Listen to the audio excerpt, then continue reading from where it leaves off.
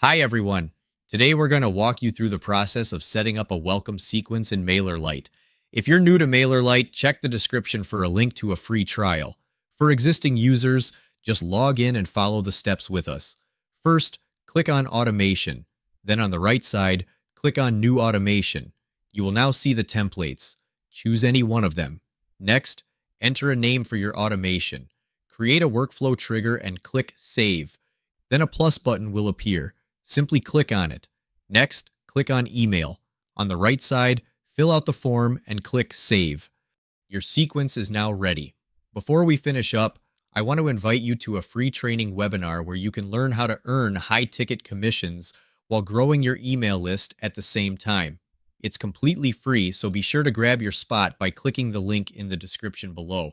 Thanks for watching.